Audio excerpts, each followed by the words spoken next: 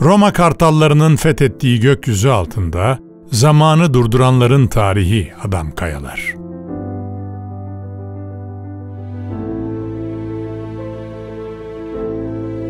Toros dağlarının güney yamaçlarında titiz bir işçiliğin eseri olan kabartmalar 11 tablodan oluşuyor.